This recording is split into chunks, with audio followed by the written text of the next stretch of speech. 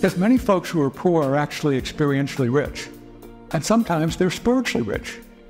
I've, I've seen both conservatives and liberals walk into poor, into poor communities like they're walking onto a yacht.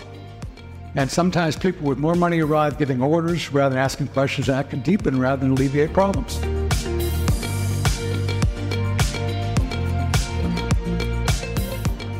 Welcome to Acton Line, a product of the Acton Institute for the Study of Religion and Liberty. I'm Eric Kohn, executive producer. In this episode, we're bringing you one of the plenary lectures from Acton University 2023, titled The Law of Conservation of Welfare and What Energy Source Can Transform It, by Marvin Olasky, former editor in chief of World Magazine and an affiliate scholar here at the Acton Institute. The law of conservation of mass dates from Antoine Lavoisier's 1789 discovery that mass is neither created nor destroyed in chemical reactions. Evidence of the past three decades leads Olasky to suggest a parallel law of conservation of welfare regarding political reactions. In 1995 to 1996, the first GOP majority House of Representatives in four decades changed AFDC, or Aid to Families with Dependent Children, into TANF, Temporary Aid to Needy Families, but left alone dozens of other programs. As work requirements and time limits reduced the number of AFDC slash TANF recipients, programs such as SNAP, SSI, and SSDI expanded. The conservation of welfare is not good for many recipients who would be much better off with challenging personal and spiritual help.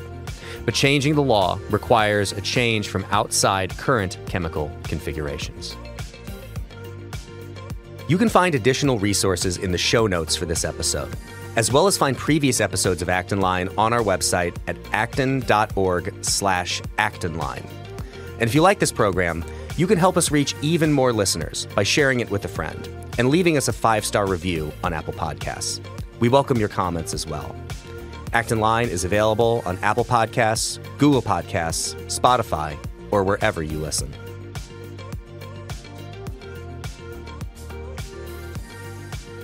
Marvin Olasky is a senior fellow of the Discovery Institute, an affiliate scholar at the Acton Institute, and from 1983 to 2021, he was professor, provost, chairholder, and dean at the University of Texas Austin, the King's College in New York, Patrick Henry College, and the World Journalism Institute. He is the author of 28 books and has written 5,000 articles in top publications, including the Washington Post, the Los Angeles Times, Fortune, and more. I first interacted with Marvin uh, when I read his book, The Tragedy of American Compassion, when I was in grad school in Southern California in 2020. Uh, and it changed the way I looked at how poverty in America has developed. And it, it was an absolute pleasure when he said yes for, uh, to join us for the closing plenary. So please give a warm Acton welcome to Marvin Olasky.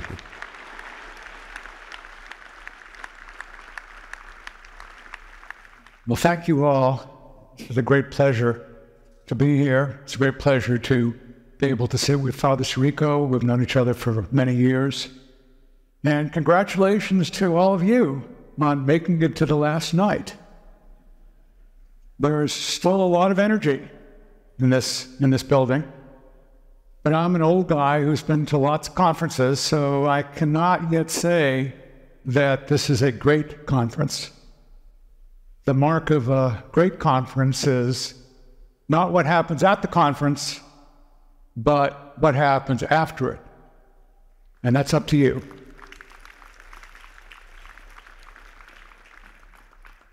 I'm going to tell you three stories. Here's number one about John D. Rockefeller. As many of you know, he built a big oil business.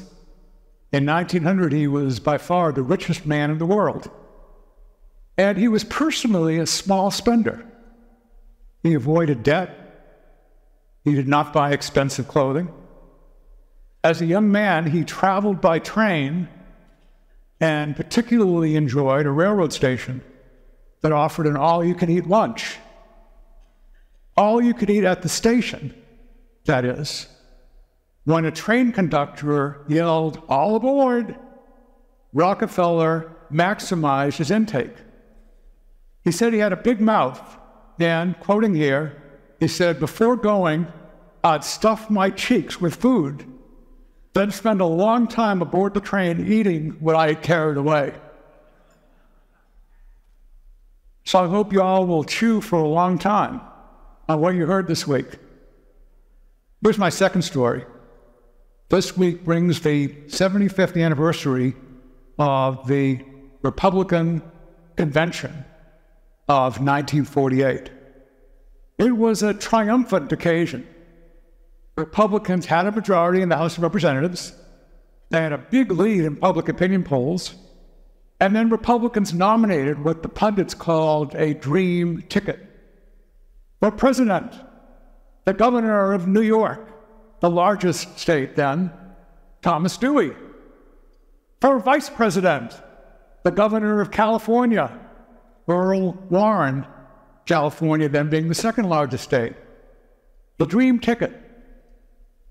The Democrats just nominated Harry Truman. He had become president when Franklin Roosevelt died. He had never campaigned nationally.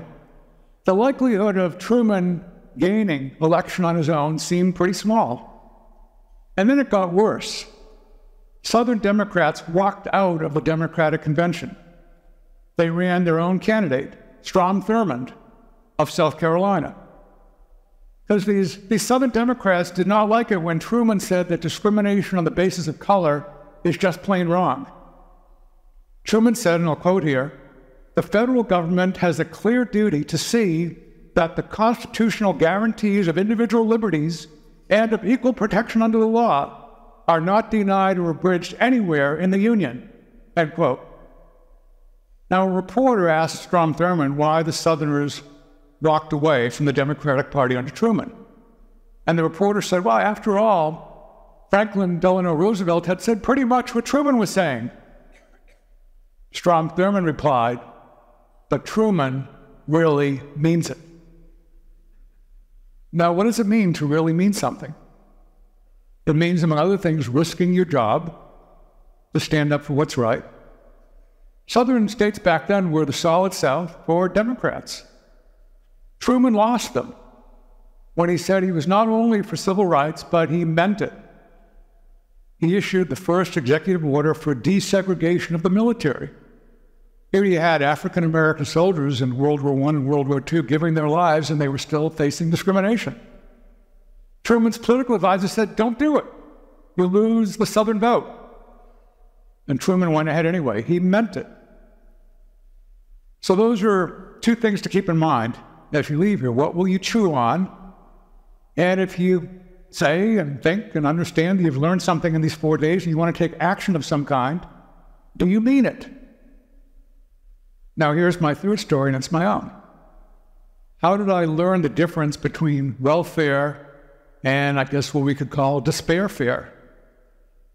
Welfare that helps people fare well versus welfare that discourages marriage and work. So, how did I learn the history? How did I see what goes wrong? How did I get some sense of how things can go right? How can you learn? You need to understand the principles involved. I suspect you've learned a lot during these four days. And you need to understand the realities of economics and markets. You need a worldview. I strongly recommend one based on the Bible. And then relating the general to the specific. My method is as old as Aristotle and as young as today's tweets.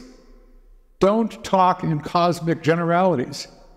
Get specific operate at street level, not suite level. Now, I'll repeat that because my reporters for decades heard this until they were probably nauseated. Street level, not suite level. And so this third story, my own, involves three steps to get a street level sense of what's involved in fighting poverty. Step one, I wanted to find out how Americans used to help the poor. So I spent a year in the Library of Congress. And at first, I sat in the beautiful reading room, paintings, statues, all the trimmings. I filled out slips with names of books. Staff members go to floors in the stacks and they see all the books and they brought me back the ones I asked for. But that was doing research at suite level, like I was Lord of the Library, just sitting there and have people bring books to me. But I didn't really know what to ask. I didn't know what was there. It wasn't a lot of stuff wasn't in the card catalog. I wasn't aware of it. So after a month of sitting there lordly in the, in the wonderful reading room, I got permission to go into the stacks myself. And this was literally blowing dust off old documents that were just on the shelves there and probably hadn't been looked at for years, maybe decades. And the other thing is, there were no rules of library required in the stacks because the people who got the books, they had boom boxes at this time. This is 30 years ago. They were listening to rap music. No rules of library required. So it was uh, really interesting to read these documents from 100, 200 years ago uh, while listening to rap music and so forth. And so it was with that research that I was able to write this book that was referred to The Tragedy of American Compassion. So that's the first step, actually doing the research. And then, well, here's step two.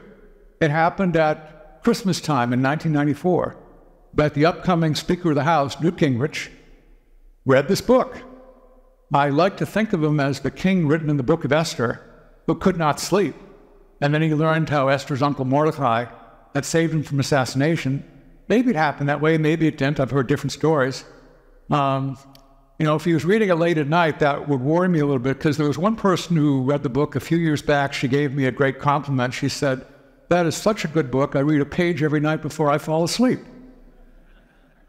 But uh, yeah, Newt, Newt read it, he liked it, and he made it possible for me to spend a lot of time in Washington watching the one big change that Congress has made in welfare during the past 50 years. And that became the second part of my education. I was able to talk one to one with lots of senators and representatives and get a sense of who really cared, who really meant it, and who did not. There was one time I talked with a group of, say, 40 members of the House of Representatives, mostly from middle class suburban districts with some pockets of poverty. And I explained some of the history, and they were all nodding and smiling and saying they wanted to be helpful. And then I challenged them Do you really mean it? I suggested that to actually understand the type of personal, individual compassion that really made a difference in the lives of the poor, of the poor for so many decades, that they should commit for a year to spending, say, an hour or two each week, no cameras, just helping a poor person in their district.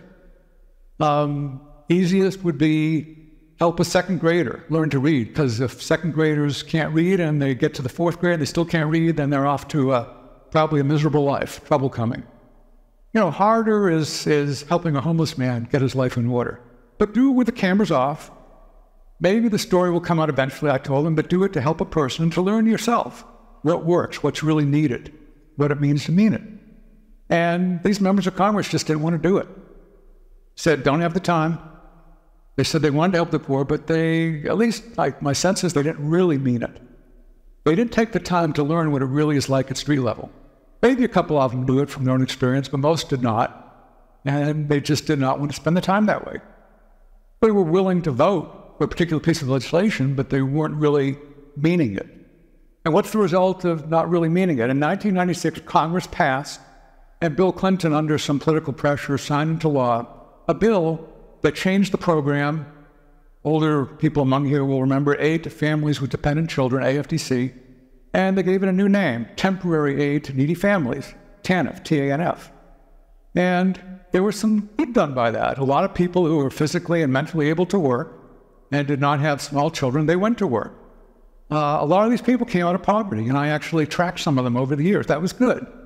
But Republicans changed only one program and then declared victory. It could have been a banner, mission accomplished. But very little was really accomplished because if you trace it out, Congress would not change dozens of other programs. And as the number of people on AFDC TANF fell, a lot of those people slid over to other programs like SSI, SSDI, SNAP. There's a whole alphabet soup of programs here. And a lot of those programs enabled them not to leave poverty, but to stay in it. And a lot of programs meant to help actually hurt. And this is what I call, um, trying to be a little bit of a social scientist here, the law of conservation of welfare. Some of you may remember from school the law of conservation of mass. Uh, Antoine Lavoisier discovered in 1789 that in chemical reactions, mass is neither created nor destroyed. And that's been the way it's pretty much been about welfare spending in America. For, for 60 years, with good intentions, it stayed pretty much the same. We've had a very busy and, and intellectually energetic week here. I'll spare you the statistics right here. I'll include some of them in an article I'm writing for, for the Acton magazine, uh, Religion and Liberty. But the law of conservation of welfare means that programs take on a life of their own. And they can be destructive. I'll give you examples in two areas the effect on marriage and also the effect on homelessness. Marriage is the greatest poverty device, poverty fighting device in world history. Uh, and yeah, um, I will, I will take that applause. I'm happy to say that my wife and I will be celebrating our 47th anniversary next week. So, and I know from personal experience, marriage pushes young adults to grow up and be responsible. And then just the economics of it. Uh, uh, two can live almost as cheaply as one. Uh, being a single mom is really, really hard. I've, I've known some of them. It's it's not so hard when there are two adults to share the burden and the joys. Uh, kids almost always do better with a dad than without one. And the 40% of kids now born outside of marriage often find that out. And you'd think the politicians would be really careful not to do anything that cuts into marriage. Nope. Um, you know, I, I, think I'll drop out the statistics here, except for one thing, because here's something you all, you all know from your own experience if you if you have a good income and uh, and you got married recently and and your husband and wife also work, you probably know happily know that marriage does not push you into a higher tax bracket. It used to, but tax brackets generally cut off, uh, but generally double for for married couples filing jointly. So let's say there's there's a Jane in the audience who earns forty thousand dollars per year and Joe earns forty thousand dollars per year. If they get married, they don't pay higher taxes at the margin, and that's good for middle class people. But one of the things that happens when you don't really mean it and you don't and you don't know what actually goes on at street level is um, for lots of people uh, who are poor and are on welfare of various sorts, there is a marriage penalty. And basically, you know, for a lot of people in public housing problems, for a lot of people in, in just a whole variety of the of the uh, uh, alphabet soup programs, get married, you lose benefits. I'll give you one example that I've just been looking into recently because Texas, uh, like a lot of other states, has this. Uh, state, pre, state level preschool programs have penalties that discourage marriage, uh, at least in Texas and again, a lot of other states. Single moms can send kids to preschool free of charge. Marriage often eliminates the entire benefit. So here in Texas, for example, a single mom earning $20,000 to $33,000 per year receives free preschool. And we can get into debates about whether preschool like that is, is good or not, but you know, it's, it's free and something, and single moms can often desperately need it. But if she marries a man who makes another $23,000, she loses all her benefits. So there's a marriage penalty right there of more than $5,000. I can give you some other statistics too, but it's, uh, it's pretty well established that rules promoted and promulgated at the street level have street level consequences. Um, there was a survey taken several years back asking uh, men and women below the poverty line and people who would know others in their same economic situation how often do you think unmarried adults choose not to get married to avoid losing welfare benefits? And half the people said often, or almost always. That is, they know people in that situation. You cut down on marriage, you bring up poverty. You cut down on marriage, you make life a lot harder for kids. Um, let's turn to homelessness. There's a California study, here's news, this was released just two days ago. A really good survey of 3,200 people uh, homeless people, asking reasons why you are homeless, what's happened to you. 82% of them said they had a mental health condition. It was also 82% who said that if someone had given them $5,000 to $10,000, they would not have been homeless. Um, 65% acknowledged use of illicit drugs. 62% acknowledged heavy drinking. There's some overlap in those figures, but if you put them together, that's, that's the vast, vast majority of people who are homeless. But 70% said they figured that if they had just another $300 or $500 a month, they would not have been homeless. 90% said if they had received a voucher that paid their rent, they would not have been homeless. Okay, maybe. I'm not going to judge whether several hundred or several thousand dollars would have made the difference. Sometimes true. I'm, in fact, I know that's true for some people. Uh, but for many with substance addictions, any additional money just, just feeds the addiction, which is something to keep in mind, sadly, when there are people in the street who are asking you for money. Um, you know, Matthew 25 is a wonderful verse about as you do to the least of these, you do to me. But it cuts both ways. Uh, when you're helping someone who who uh, who needs food and shelter and everything, then you can be doing a a godly thing. It may be like Jesus, like helping Jesus himself. On the other hand, if as some studies have shown, 90% of that money is going to be used for drugs or alcohol. It's like you're sticking heroin into Jesus' veins. It's a tough verse. It cuts both ways. But here's what I want to stress that it's really complicated why people become homeless. There are structural factors that are important. I mean, a lot of places, particularly in California, not enough housing, rents have gone up a lot. But there are also personal factors that are really important mental health and substance abuse. But you can guess, I've been tracking this the last couple of days, you can guess how that study was reported. A study that was a pretty comprehensive study that looked at a lot of factors and said it's complicated. But here's the way the headlines went. This is Associated Press. New study says high housing costs low income push Californians into homelessness. You don't hear about, you don't read anything about substance abuse until you get to the 13th paragraph. ABC News, the report highlights the impact of low incomes and high housing costs. Again, doesn't get into substance abuse, doesn't get into mental health. There's a KA, KALW TV station. New study says housing costs the root cause of California's homelessness. That's actually not what the study says. It says that's one of the important causes but mental illness and substance abuse, really important. Uh, Fortune magazine had a headline just quoting Governor Gavin Newsom people are homeless because their rent is too high. Well, yeah, but um, substance abuse, mental health, also very important factors. So, in a sense, we have these terms racist, we have these terms classist, maybe we have to have a term called houseist, where you don't look at mental health questions, you don't look at addiction questions, you just say, oh, the problem is clearly just lack of a house, and let's spend in Los Angeles $600,000 or more to, to get an apartment for this person, and the problems go away. Well, they don't. What you hear typically in reporting is housing, housing, housing. That's the official US government position right now, ever since 2013. Housing first. But that's bad reporting, and it's, it's much more complicated. It's a mental health problem, it's a substance abuse problem, it's a rent problem, uh, yes, you can, you can pay more, but if you ignore the other problems, you're making life better for the people who drive by or walk by homeless encampments. Where, where those of us who aren't homeless, we're not going to be troubled by seeing these folks and wondering, well, should I be doing something or not? They're not helping the people who live in those camps. So that's a problem, and it's real. So I mentioned that to learn at street level rather than street level, I, I, I had to do three things. I mean, first, blow the dust off the old documents in the Library of. Second, see up close how people in Washington make laws. And the third was seeing for myself around the country whether there are alternatives to the welfare system. Um, you know, the Johnny Cash song, I've been everywhere. And I, you know, on Sesame Street, the Count was my favorite Sesame Street character. So I once counted 153 cities or towns where I've actually visited, seeing close up organizations created to help the poor. And if I could sing, I would, yeah, I would, yeah, San Antonio, San Diego, San Francisco, St. Louis, Nashville, Jacksonville, Louis, Louisville, Asheville, Gainesville, Colleyville, Cedarville, Charlottesville. I've seen compassion everywhere, man. Um, but I'm not going to sing anymore. That's really bad.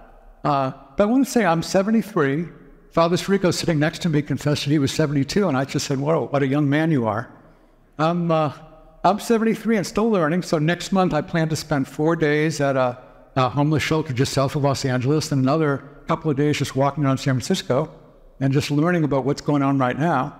Um, you can learn in the libraries, and one of the things I hope you learn these four days is the importance of spending time in the libraries and reading really good stuff philosophical stuff, political science stuff, economic stuff.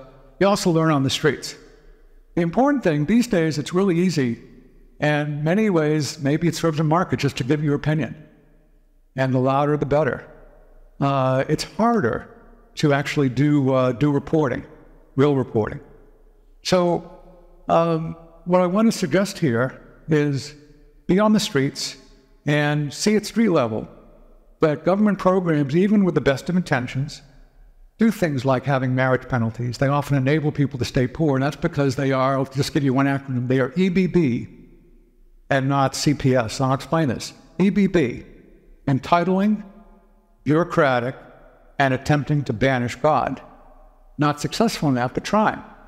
And that's the way it works for lots of governmental programs. Once you get on, you can stay on, even if you're able to work and you choose not to. Most of them are bureaucratic. You become a number rather than a real person.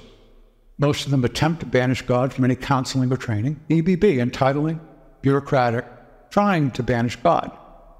And that's a big problem. And it's a huge problem because it's believed to are made in God's image. It changes hearts. That's the, that's the energy source that electrifies lives. EBB programs usually don't help people climb out of poverty.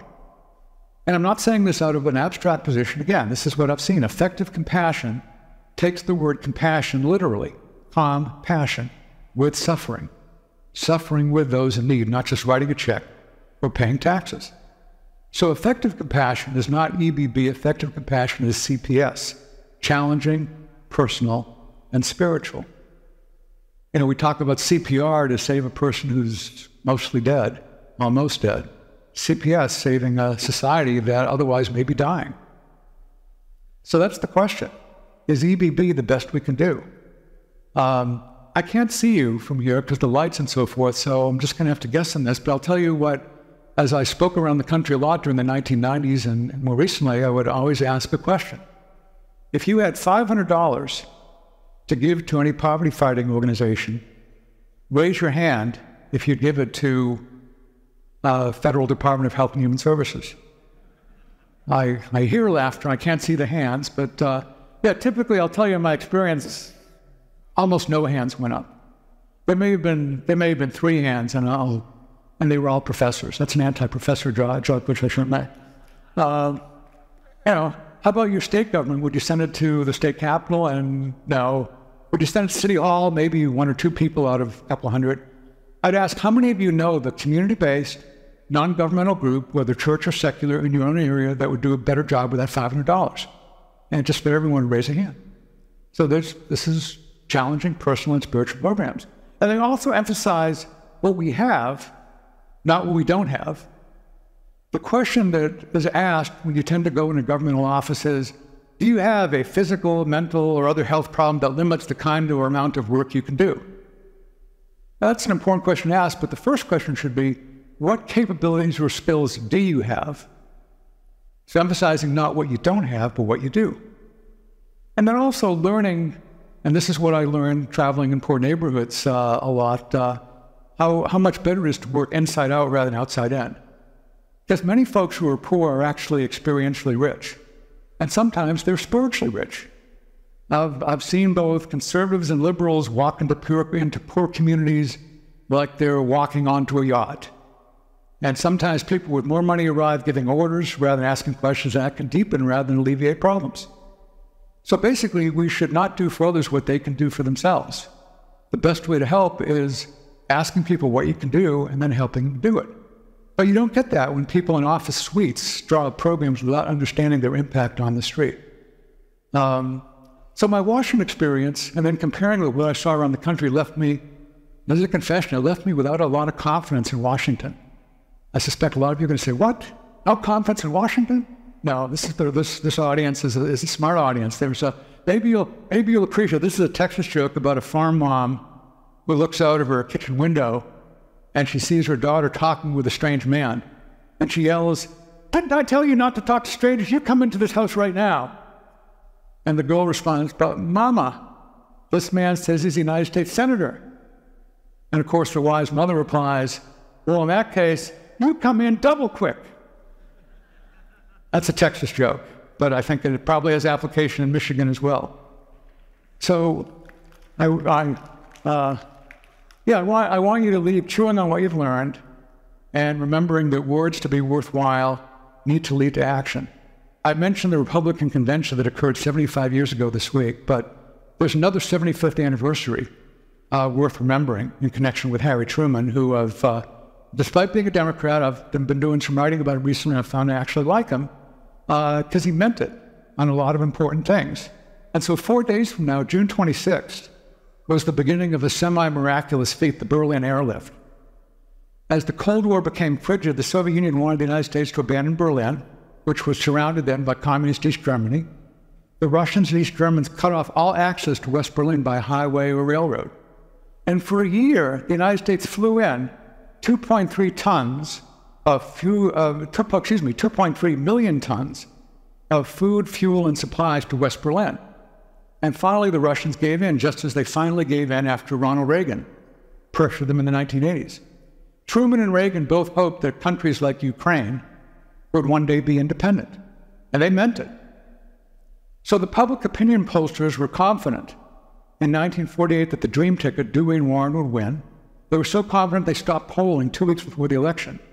And of course, some of you may have seen the famous picture of Truman then the next day holding up a Chicago Tribune with the headline, Dewey defeats Truman. Uh, you can see it on the internet. Uh, big smile. Uh, Americans had respected Truman's integrity. He meant it. He won. So as you head home, uh, please be a John D. Rockefeller and chew on something. Be a Harry Truman, uh, without some of his policies, but with a lot of them, and mean it. And if you do, I'd be amazed if you can't find something helpful to be in your own community. So if you care about education, spending an hour a week helping a second grader who hardly reads. If you call yourself pro-life, see how you can help at your local crisis pregnancy center or pregnancy resource center. Uh, a lot of you are the perfect age to be peer counselors to young men or young women, and you may be able to save one life and change one another. Do not let despair triumph. And then I have one more suggestion if you're interested in journalism. Uh, go to zengerhouse.com. It's one word, Zenger, Z E N G E R H O U S E, zengerhouse.com. At the top, you'll see a short menu. Go to local views. Uh, my wife and I, uh, 10 years ago, started, started a, a little foundation, a very tiny foundation, just putting aside some money every year. It's called Zenger House. It's named after a 1730s newspaper editor, a Christian named John Peter Zenger. Uh, we taught a week long training course last summer, we may teach another next summer for people with some writing ability and also some entrepreneurial, entrepreneurial ability who want to start a news site in their own towns. See, if you're if you're in an affluent area, there are now papers, uh, there are now publishers doing that because they can sell ads. If you're in a poor area, it becomes more difficult. So we're training people to set up local news websites in poorer communities. We've just started one, or actually one person who went through our training has started one in a southwestern area of, of, uh, of Houston called Sharpstown. We hope to see more. So if you have any writing skills, if you have an entrepreneurial uh, streak, uh, send us an email. You can just go to uh, zengerhouse.com. Uh, time to conclude, and I want to conclude because as Father Sirico and I were, were talking, as you get older, you, you think about people who have died. And one person I very much admired uh, was a pastor who died recently in New York City named Tim Keller. Uh, and Tim Keller really taught me a lot about his about understanding our relations as people God created to God's magnificence as the creator. And he taught us that we're more sinful than we imagined, that God loves us more than we could hope for. So if someone brags, I know I'm a good person, you can try to bring that person back to earth, saying, Well, no, you're not. We're all sinners. We're more sinful, actually, than we can imagine. But if someone despairs, I've thrown away my life, I'm useless. You hear this a lot from long term homeless people. Might as well kill myself. You know, maybe I won't slit my wrist, but I'll drink myself to death. And you can say, well, please don't. God made you in his image, and you are loved more than you can imagine. Um, that's what I learned from Tim, who died a couple weeks ago. And just one suggestion to you all uh, when I walk my dog, uh, I, I listen to Tim Keller's sermons. It's eerie. He's died, but his sermons are still there. Uh, and you can just uh, listen to them on a podcast. Uh, they're free to, uh, to listen to. And if you just put in Tim Keller, you'll do that. I learned a lot from him. I think some of you will, will too. Um, would you mind if I if I closed with a with a really quick prayer? Um, I can't see anyone frowning at this point, so I hope so. Bet so. Um, yeah, Father in heaven, um, we we pray for your grace on everyone who planned and taught and learned during this conference week. Please keep us safe as we travel home. Uh, please inspire us to mean what we've heard and what we say. Please inspire us to chew on this. We are more sinful than we imagined, yet you love us more than we could hope for. Amen. Thank you all.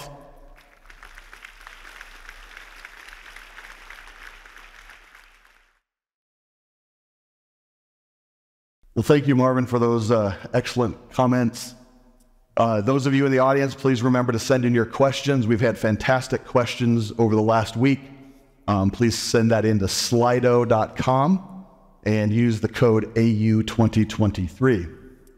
Um, one question for, from me to start off with, I couldn't help but think as I was listening of a core value at Acton. We, uh, it comes from Catholic social teaching, but the concept of subsidiarity. Those who are closest to a problem are best able to understand, handle, or think through a problem. Um, what do you think, from your experience of studying this topic, what are some of the most effective, I guess, bullseye organizations that are local have, that you have seen success in thinking through some of these issues of poverty? Good question. Um, and it brings, it brings to mind dead people at this point. Uh, uh, their organizations are still going. And for example, well, I'll start with a fellow named Bob Cote, uh, who was uh, had been a drunk on the streets of Denver, and he one day just uh, through God's grace uh, poured out his bottle and started a program called Step 13, uh, which I which I visited and spent some time there, and I'm going to go back there in August and see what's happened then, because he died a few years ago, and Bob Cote based step 13 on the program. He used to say, work works. And work was really important. And the way it was organized, this is a homeless shelter, the way it was organized is the, the first floor uh, is just sort of an open, um, you know, just a whole bunch of beds there. And you can start working right away. Uh, brilliantly, it's two blocks away from the Colorado Rockies uh, ballpark.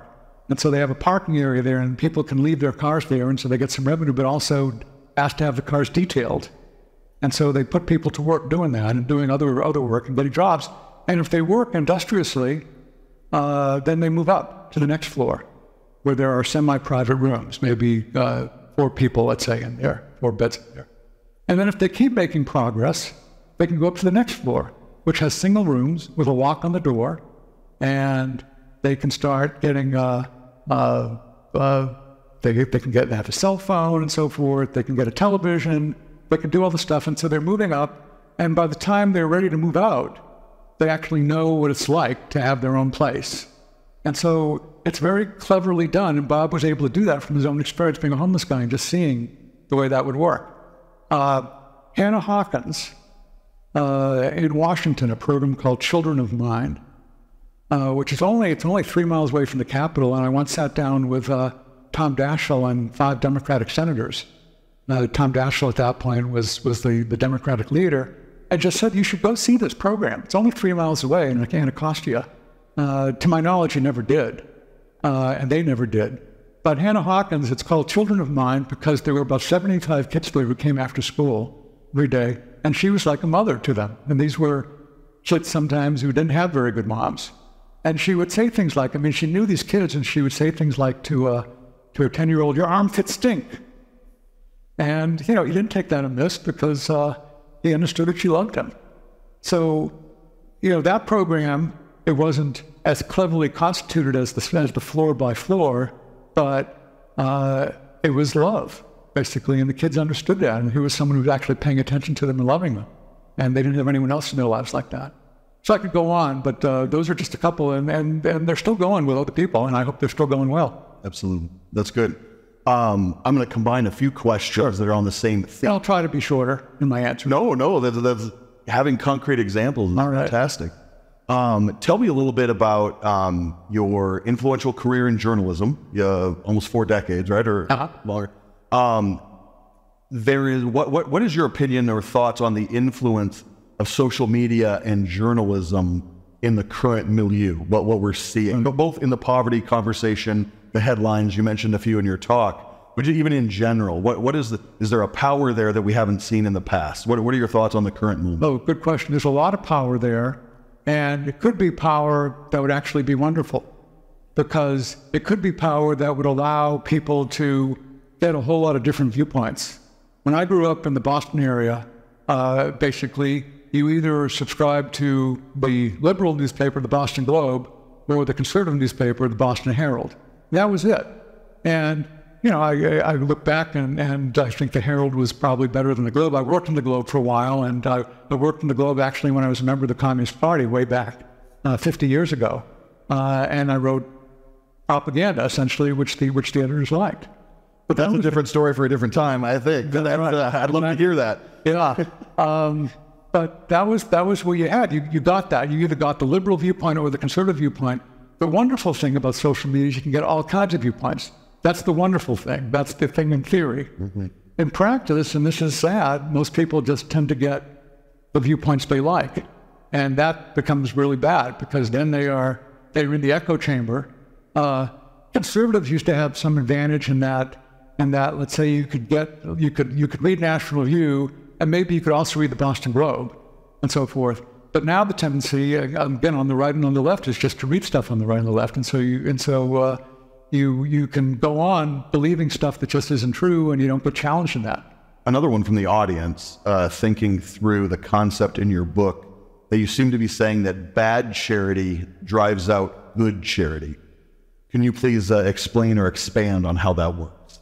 Well, yeah, uh, this this was my attempt to gain immortality by being somewhat like Gresham, right? His, his, his line is bad, is bad money drives out good. So I'm saying bad charity drives out good in this way. Um, and I've actually had this experience. Okay, my, uh, my wife and I and a couple of other couples uh, started a, uh, a Christian school for people, both rich and poor, black and white and brown. Uh, we started this back uh, 22 years ago. Uh, and amazingly enough, it's still going. I mean, it has about 100, it's not a big deal, it has 100 students or so. Um, but one of the things we found is that uh, as it, when I was very active in it, I, I chaired it for a while, uh, we found parents who were saying, yeah, this school is better. I can see it's better than the, than the pretty bad public school my child goes to. But the public school, there's, there's free transportation to it, there's free lunch, and now there's free breakfast and free dinner and all these types of things. And yeah, I know I know the school will be better, but I just I just can't afford it. I can't take the time. I don't have a vehicle, whatever. So there's an example, in a sense, of uh, uh, I'm not sure it's exactly charity, a public school system, but it's it's something inferior driving out something superior just because the economic benefits are are there, and that's too bad. But I've seen this in other programs too, in programs involving uh, other uh, involving poor people in other ways but once you get used to thinking of it as an entitlement that you don't have to do anything for, it's really hard for another program to come along and say, no, it's not. Re- it really shouldn't be an entitlement. You can earn it. You are capable. You are mentally and physically capable of doing some work, and so you should earn it, and it'll be good for you. Uh, and the tendency is to say, well, no, I don't have to do that. I can get it all for free. So that would, those would be the examples right, right off the off the top of my head of, of bad charity driving up good. What do you think about some of the more modern um, issues? Um, at our table, we were having a conversation about housing prices at, at, at dinner. Um, housing, and there are certain costs in the modern American world that seem to be spiraling out of control. And do you think there's there's several questions around this idea? In fact, one is very personal. They say um, I've been homeless multiple uh, times, and the increasing cost of housing was a significant problem um, in helping us uh, stay homeless or creating us to stay homeless. What what are your thoughts about some of these costs? I mean, aren't there real um, problems in uh, structural problems that are possibly problems that could be overcome with regulation or laws? Are there are there any ways that we can help affect it top down versus bottom up? Um, Zoning is a is a big problem, and there are there are advantages to it, but disadvantages uh, to it. Uh, um, the, uh, the the the cost of building housing, uh, with all the regulations are involved. Will more regulation help? Probably not. It'll probably make things worse in a lot of ways, because the the the cost is is so high in a lot of uh, places, particularly in California, but other places too. Um, so all these things that are designed to help, and it sometimes may help. I mean, we don't want buildings that are going to fall down, but there's so much of it uh, and so much permission that's required to do something that's that's pretty sensible is that it just drives up the cost, and that's that is the the, the cost of housing is a is a uh, is a huge problem. Um, there's there's no reason, for example, if uh, if someone has a uh, a big house and enjoys living in the big house, there's no reason why you shouldn't be able to build on your property a, a tiny house right there and have someone someone there. There's there's there's no reason why uh, in a lot of places, well, maybe there are reasons, but in a lot of places, uh, if, if people build on a lot, uh, a, a, place with four apartments, uh, you know, is it going to drive down maybe the housing prices? Maybe a little bit, but it's actually going to make living possible for more people. So I think there are a lot of things. I mean, here I tend to be, uh, you know, pretty much a libertarian, uh, saying saying overall, the fewer regulations, the better, uh, and let freedom ring, let liberty grow. Let's have more housing. Yeah, It's good. We have time for one more question, and I'm going to combine several again there uh, thematically. And one thing that sets Acton apart from a lot of different organizations that we, we want to bring in the religious conversation to these ideas. Um, and many houses of worship um, locally, uh, the, the, Mormon Church has good examples of this. The Amish, other you, we can look at examples, but are local churches, do you think in your studies and, and thought that local churches are one of the best conduits for these kinds of pro, uh, issues? Or are they nonprofits, uh, locally, you know, sourced? Um, what are, are churches and religious organizations responsible for helping to turn this idea around? Yeah. Historically, that's what they were. I mean, they were they, they were the best, and they were they were very active. Uh, and then sometimes a group of churches got together and set up a, a, a, a nonprofit organization, but it was still church based. Because again, this is the, I, I don't like to put everything into a formula, but uh, you know, this is something I've, I've been trying to preach for the past 30 years, challenging personal and spiritual. And if you leave out the spiritual component, which comes naturally to churches, uh, there may be a few exceptions, but, but uh, uh it, it's there. It's there, and, and that's, that's crucial. Because it's so much, uh, you know, imago Dei, the image of God. I mean, that's the crucial thing. And if you don't have that, if you don't have that about yourself, then you do all kinds of things that, that you probably you probably know you should not do. If you don't have that about other people, then the tendency very often is sometimes in a very kind way to treat and think of poor people the way I treat and think of my dog.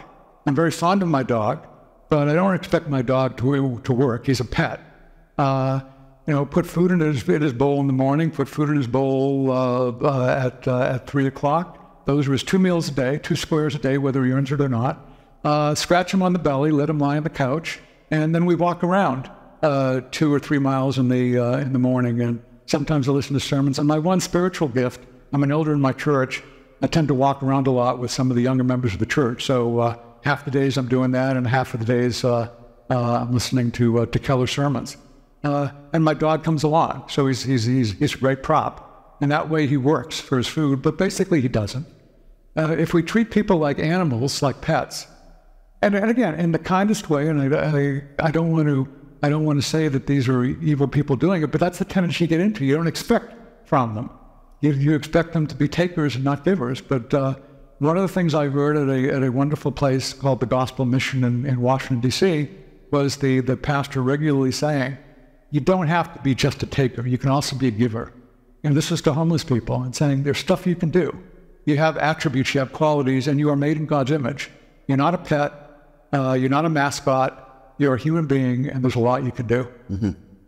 Yeah, and we a lot of times have uh, we treat poor like the objects yeah. to be pitied rather than the subjects of their own story. Yeah. And, and um, that's a a good closing thought. I I really do appreciate your ideas on poverty. They've, they've um, manifested my own life thinking through these topics. And so thank you for your career. Thank you for the investment you've made in these ideas. Please give a round of applause to Marvin Olasky. Thank you.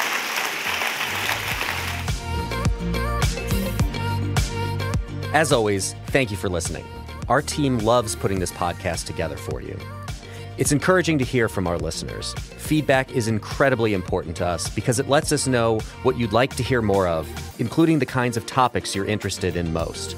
If you have comments, feedback, or ideas for a show topic or interesting guest, you can email our team at producer at acton.org. Until next week, for Acton Line, I'm Eric Kohn.